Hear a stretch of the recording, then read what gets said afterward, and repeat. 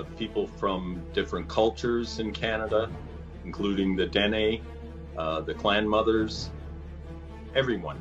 It's it's us working together to achieve a common goal, and that's to, to end the corruption, the, the rampant, blatant corruption in Canada.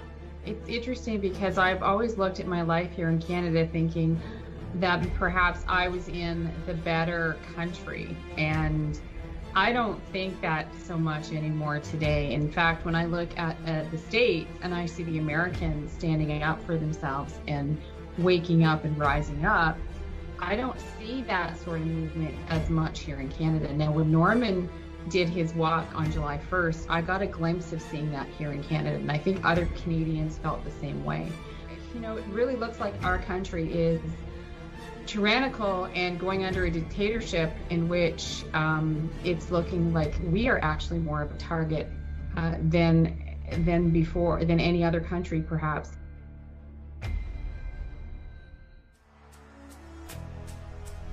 With the global economy being in shambles and central bankers moving towards a reset, it's never been a better time to protect your wealth by owning precious metals. Contact Andy at milesfranklin.com. Tell him Sarah sent you. He promised me he will guarantee you the lowest price anywhere in the country. Remember, email Andy at milesfranklin.com and tell him Sarah sent you. It's never been a better time to protect your future than now. Welcome to Business Game Changers. I'm Sarah Westall. I have Amina Motala and Norman Traversy coming to the program. Those names probably won't be familiar with a lot of you, but people in Canada probably very much know the Traversy name. His family was the one that when we had the Revolutionary War here against the, the British, he in Canada, his family led that revolution up there. They lost. We won. And his ancestor was thrown in jail and there were he had to pay reparations and all these other things. He was a very wealthy family. But anyways, his story, and I mean they're activists. What's going on in Canada is is crazy. They are under the Commonwealth just like Australia is and New Zealand and the craziness that's going on there is happening for the most part in Canada. It's not as bad as what we're seeing in Australia yet, but it's worse than it is here. They absolutely have no representation right now. Justin Trudeau has taken over the entire country as a dictator. And uh, Norman comes on and tells his story as a he was a firefighter and the abuses that are going on in Canadian society that's been percolating for a while. And now this is happening. He has an amazing story about this trial that he has against Justin Trudeau, against the Canadian government, and the absolute corruption of how the trial went on without him. It, it's an amazing story. And so he talks about that and you get to see just how corrupt it is. But many Canadians just don't, they're waking up to this, but they just don't, because they've been in a bubble for so long, our media has been a bubble for so long that people have a hard time breaking out of it. They just can't believe that they have been deceived for so long and that this was, is actually going on. And you can see it here in this country where we have basic lies that they're telling in the media and they just keep perpetuating. It doesn't matter what the facts are. They say you got to listen to the scientists, but I have scientists, groups of scientists, you know, reams. I just had a letter that I posted on my website from the Belgian scientists and doctors. Hundreds of them signed this open letter to end all the lockdowns and they gave uh, tons of reasons and they went through every reason. Why aren't those scientists being listened to? Why is it just these? I mean, there's just so much hypocrisy. Why are we letting 10 times more people die from the mandates and cripple our society in, in a situation where the deaths aren't that bad? When you, they aren't changing the CDC numbers. They're keeping the CD, even though the CDC itself has come out and said, hey, these are higher based on the comorbidities. No, they have to exaggerate, make sure they use every single one. CNN puts the counter on nonstop. For people who are still in this matrix, this, I don't like the word matrix because it reminds me of a Hollywood movie. I, I like to just say this mass mind control. I mean, it's just this bubble of illusion. They're being lied to. It's propaganda nonstop without understanding any re- semblance of truth. There was a Chinese scientist that com- came on Tucker Carlson interviewed her. She talked about the fact that this was a bioweapon and that she actually published reports in Lancet and everything else. She was a very well respected scientist. After she came out and said that, they deleted her Twitter account, all social media. None of the other uh, mass media companies will even interview her. It is so absurd what we're dealing with. And the fact that the, there's still anyone in this country that that believes this garbage. I, it's just, and, and why is there so many people at universities that seem to be believing this garbage? I mean, we say that universities are, they're, they, they have this arrogance that they're very educated. And so that education closes their mind down and they just think they know everything. And they're also scared because we have these pillars institutions and they're, they're not doing it. They're not standing up for anything. They're, they're, they're awful. I mean, what is this? It's almost like they're destroying their own credibility by having no backbone and by being brainwashed to this level. No matter what, the fact that we're allowing 10 times more people, this is based on a study that was done that's 10, and that was very conservative using CDC numbers. It was a revolver study. They, and I posted it on my website and there was multiple doctors and PhDs that put this study together. And they were saying 10 times more deaths, human lives have been lost from the, the lockdowns and the mandates than from the actual virus. And this is using CDC numbers before you actually uh, redo the numbers based on the new CDC uh, admitting that there's there's been false positive or there's people who are considered positive for COVID that were never tested and then all the comorbidities. So those numbers are extremely higher than they should be. But using that, those numbers, it's still 10 times more. Canada, according to Rocco Galati in his lawsuit, which includes even the top pediatric hospital in the world, is saying that there are 14 times more deaths than Canada. And that's using their official numbers. South Africa is talking about 29 times using the official numbers. So what really, how much worse is it really? And, and so ca- Canadians are starting to wake up to this, but not not like they should be. And so we're bringing these guys on to talk about what's really going on. The the fearful thing about what's going on in Canada is they're so close to us. I mean, if what's happening in Australia and New Zealand, if that happens in Canada, how will that affect us? I mean, we've already talked about Justin Trudeau allowing uh, Chinese troops into Canada. Chinese troops are actually going to be administering their vaccine. I mean, what the hell is going on? That you can Google up. It's in it's in mass media that they're going to be doing their vaccine. So, uh, bringing these th- these guys on to talk about Canada and what's going on is very important to people in the United States, and very important to people around the world. Another thing the media is not covering are all the protests going on in Europe. I caught this firsthand when there were protests going on in Germany. There were millions of people out there protesting. Our media in our country, in the United States, in the Western media, were saying that the German uh, authorities shut down all the protests because of they weren't wearing masks and they weren't social distancing. It was story after story after story while I was watching live the protests going on with no crackdown.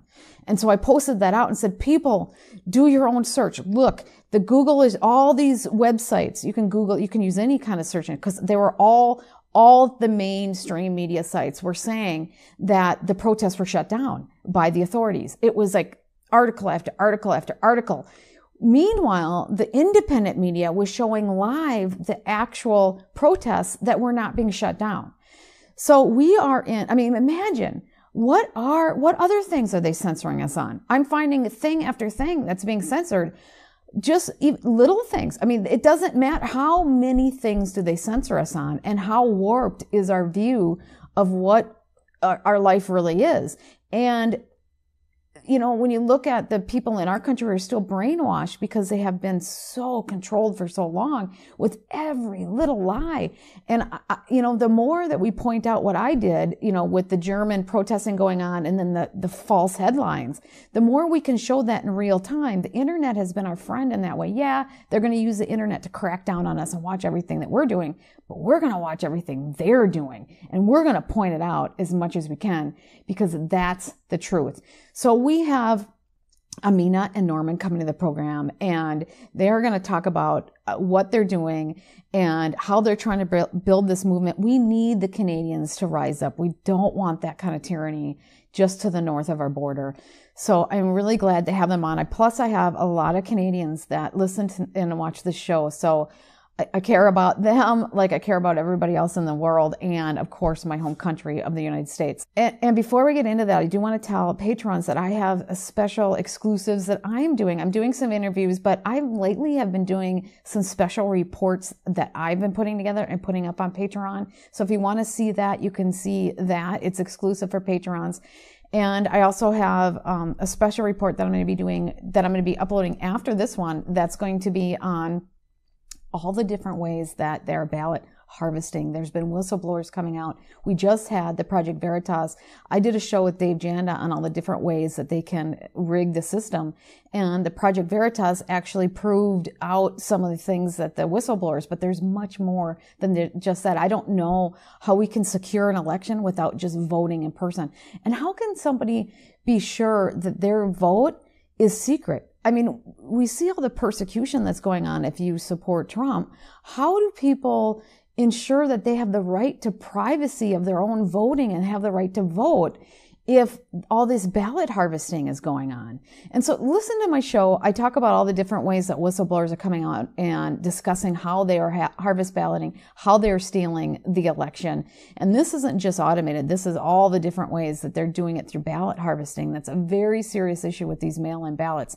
So you can watch that at patreon.com under Sarah Westall.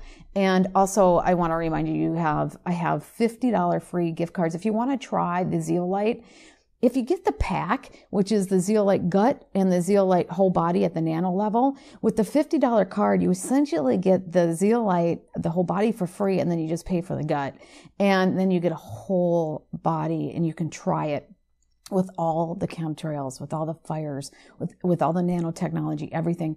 Everybody needs this. That's why I am starting to say my two products that I'm recommending and I use every day. Everyone in my family uses every day. My parents use it. Everyone I talk to, I try to tell them to use it. I really believe in it that you use the C60 gel caps that get rid of all those uh, free radicals it's amazing how your body can heal and then get rid of all the toxins and the heavy minerals and heavy metals that are in your body. You really, not heavy minerals, but heavy metals that are in your body. You really need to do these things to, to get back to health. I know that it can get expensive, but it's a lot less expensive than dealing with really poor health. So let's get into this important interview now with Amina and Norman. Hello, Norman and Amina. Thank you so much for joining the program. Well, thank you. Hi, Sarah. Thanks for having us on. Absolutely. You have a really good movement that you're forming and you're starting in Canada. You've been going for a while.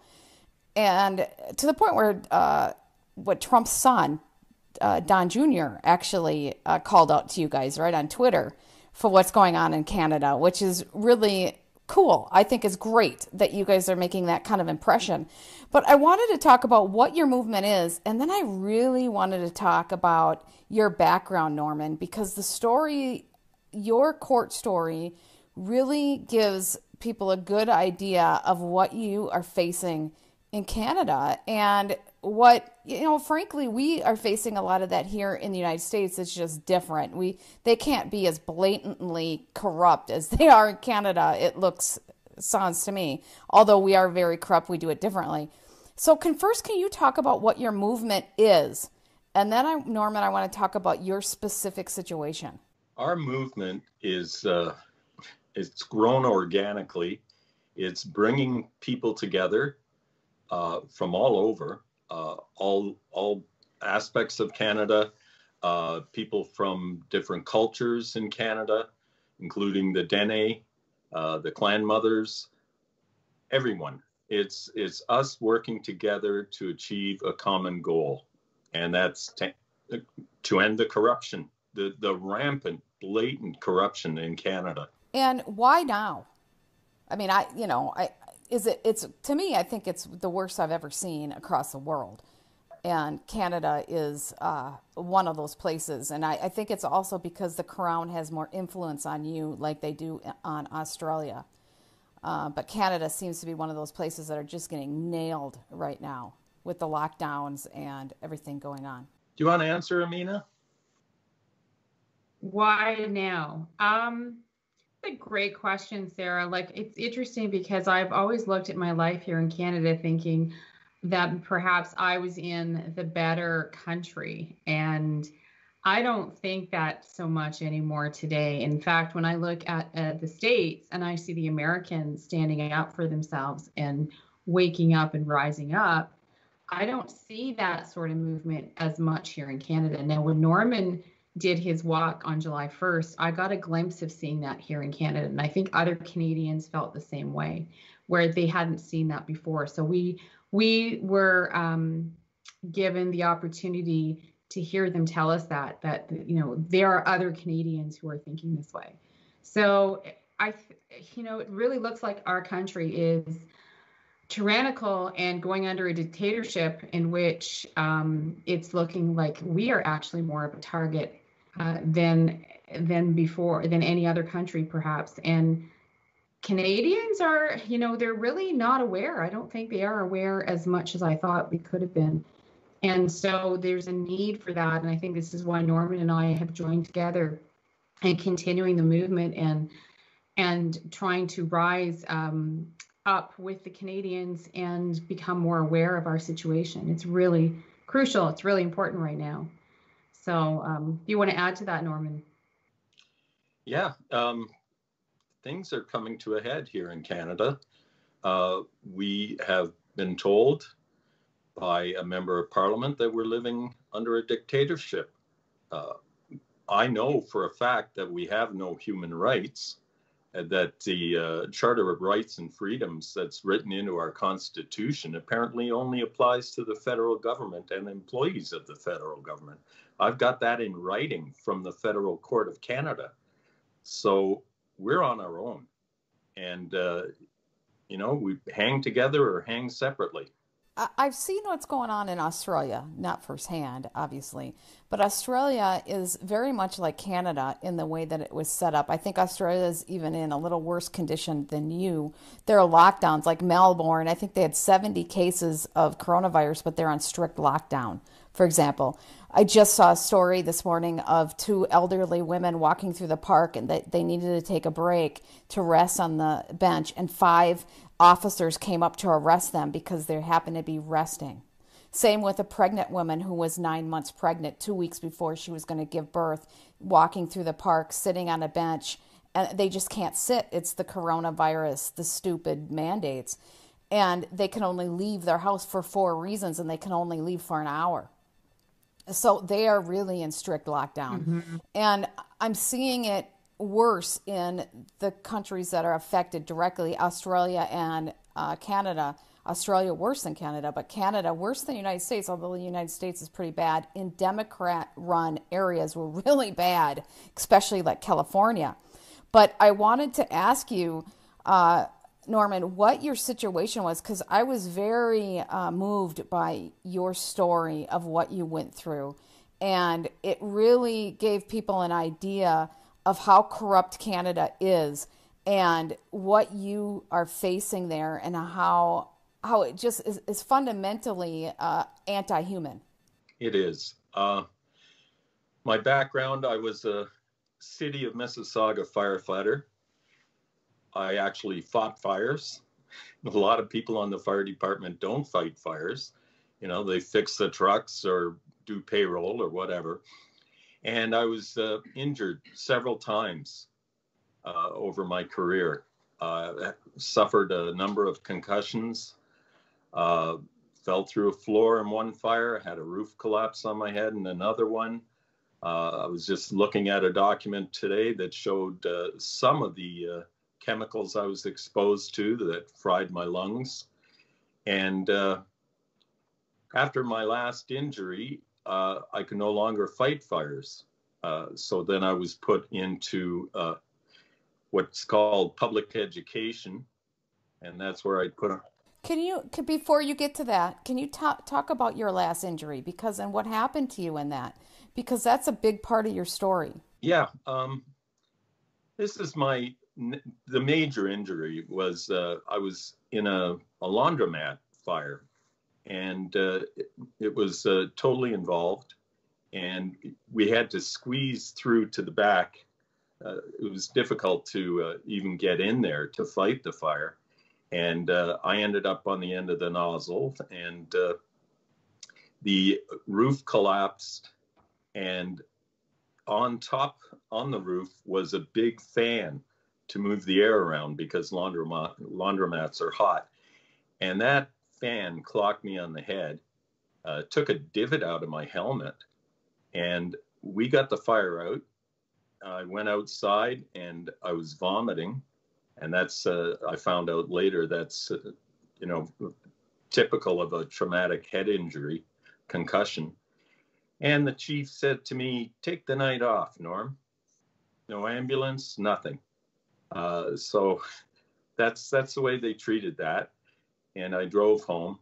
Um, later, uh, I kept coming back to work, and uh, the last I did was uh, someone had been knocked unconscious by a baseball playing baseball, and we went out to the baseball diamond to uh, treat the person, and I couldn't stand up after that to go back to the truck I was that bad.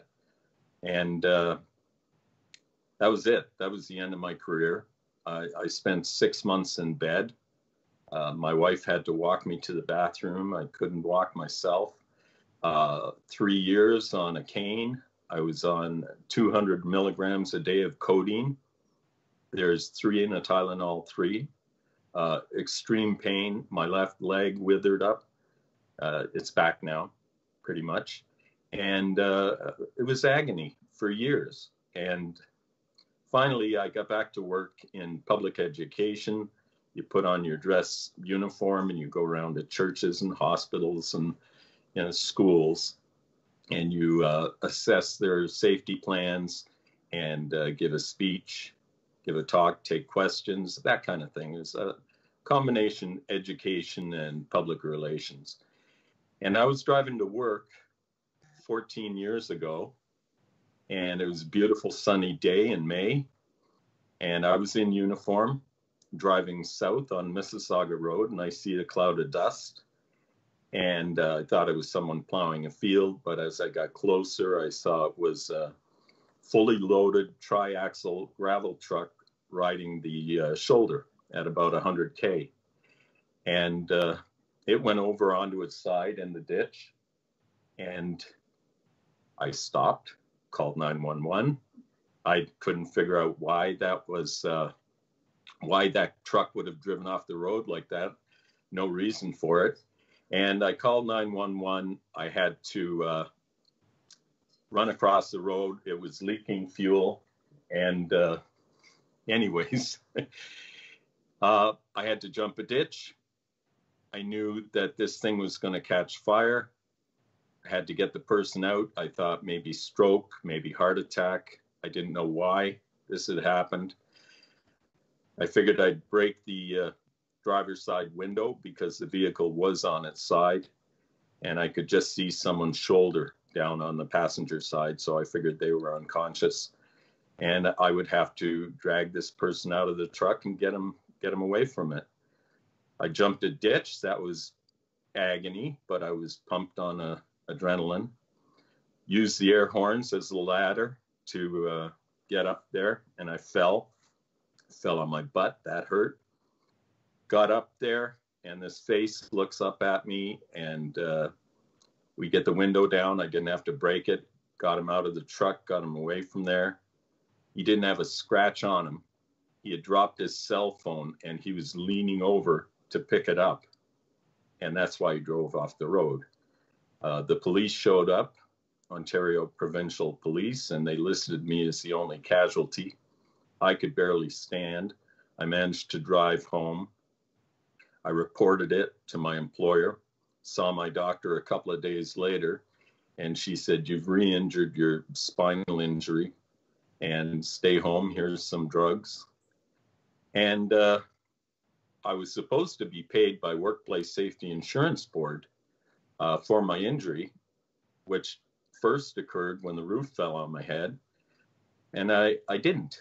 Uh, the fire chief, John McDougall, called the Workplace Safety Insurance Board and said that I wasn't a real firefighter and that I wasn't expected to, uh, to rescue people on my way to work.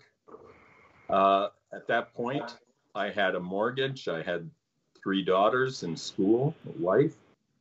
And because of that, I lost everything. I lost my home, lost everything I own. And uh, that kind of put me in the position where once you've lost everything, you don't care anymore about, about what what they can yeah, do to you. Yep. So last year, at, oh, and I tried filing criminal charges against the Workplace Safety Insurance Board uh, for uh, running an affinity fraud. And uh, they actually had the Ottawa police arrest me at the courthouse and escort me out of the court. And they stood there and blocked the door with their arms crossed. No charges were laid against me. They just physically stopped me from filing and that was at the instructions of the Attorney General of Ontario. Well, and I want to talk about that more in depth a little bit, but one of the things that you found out is that this is a regular pattern with other firefighters. Can yeah. you talk about that? Yeah, um, you know, Ontario has tripled the rate of first responder suicides compared to the rest of the country per capita uh, we had three Ottawa police uh, shoot themselves, two of them right in uh, Ottawa police headquarters. And suicide is a feature, not a bug. They that saves them all kinds of money. Uh, rather than taking care of you, they just want you to go away one way or another. You learn that, but you learn yeah. that through how they treated you. Can you talk about how they treated you when you were on the job and the cubicle that you got? Oh yeah. Um, I was uh, off work after the truck wreck. I was off work for uh, 14 months without pay. I was living in, living off the equity in my home and trying to go back to work, but they wouldn't let me back because I'd made a complaint about workplace violence and also I was a witness in a sexual harassment complaint. And uh, finally, after 14 months, they let me come back to work. I was escorted to my new workplace, which was a four foot by five foot cubicle that had a shower curtain across it. And they had a professionally made sign that said Norman Traversy, caged animal. And they be, and it was you were the only one that had that sign. Oh, of course, yeah. And uh, they were what were you what do you think they were trying to do to you? they were well first they wanted me to quit and uh, second they wanted me to kill myself. Like they knew i've been diagnosed with ptsd i've got copies of interoffice emails about it. So they knew it. Uh, the health unit of the city of, city of mississauga uh, knew about it. They'd actually sent me to different doctors. So that was uh, one, they wanted me to quit, and then I would have been abandoning their accommodation, what they called an accommodation for my injuries. And two, they wanted me to kill myself.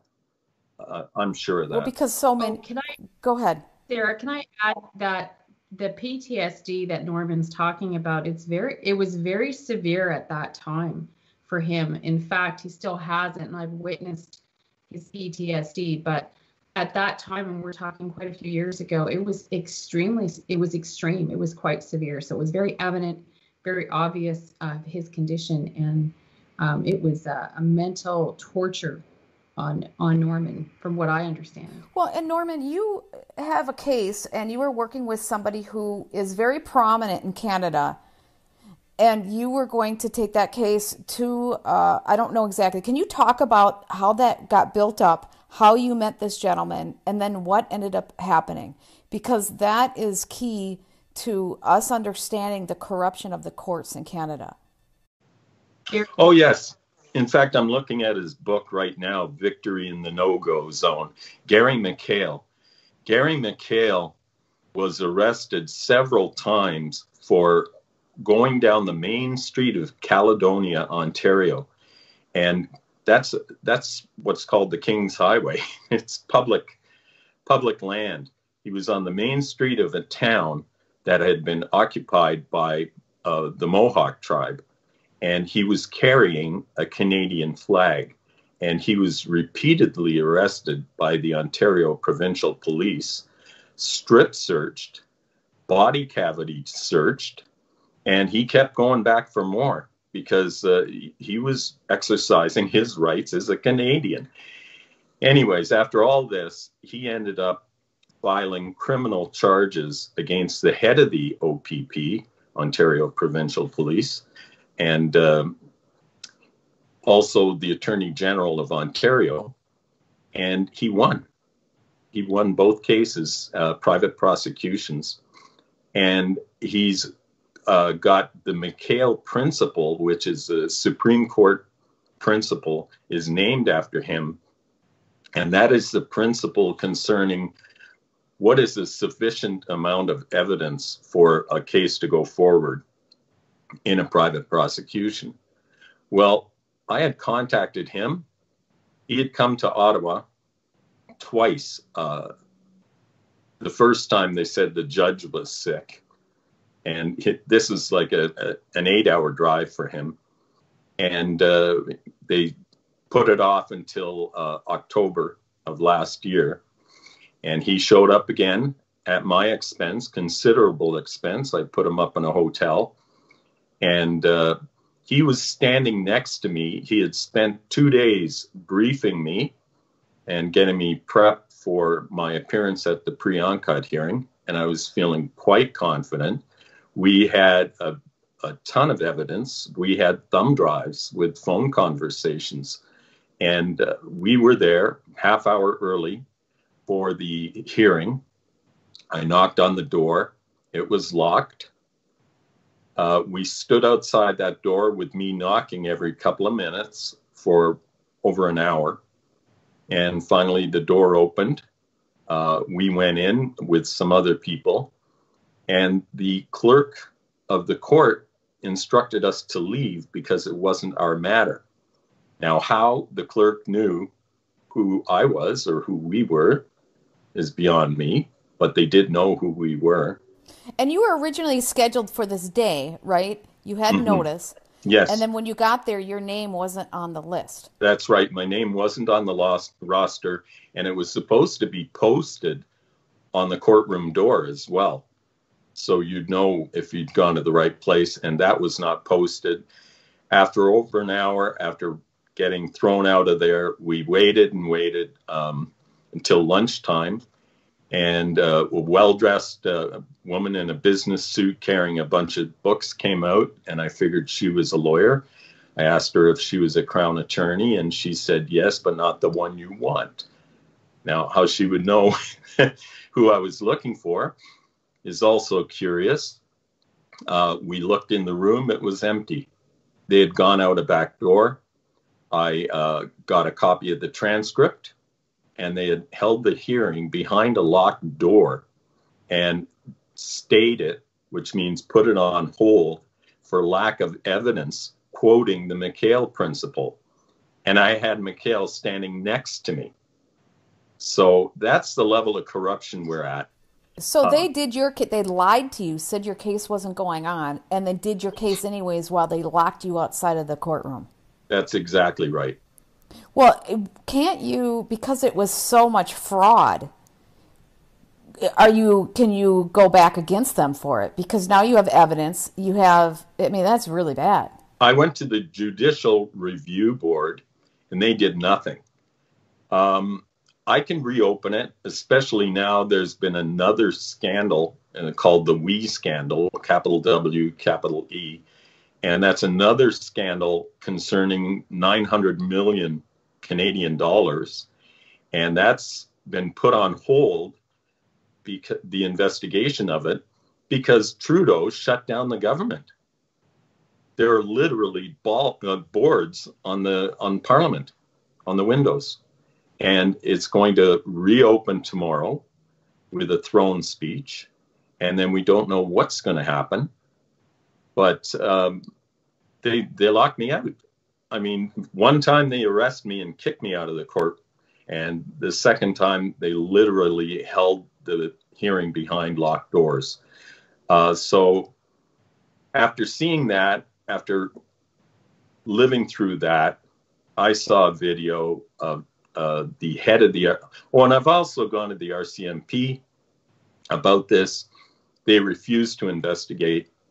I've done. I've gone to the Ontario Provincial Police. I've gone to the Toronto Police. I've gone to uh, Peel Regional Police. No police force will look at this matter, and it's their own people that are committing suicide because of this corruption.